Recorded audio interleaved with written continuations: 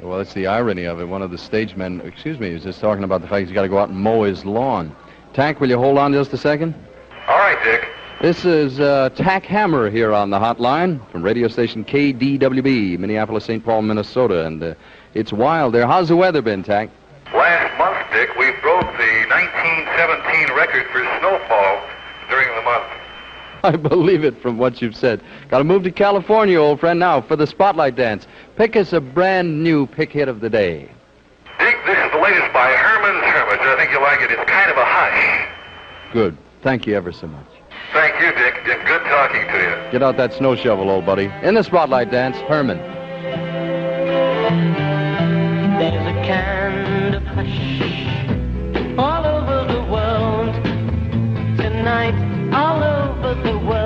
you can hear the sounds of lovers in love.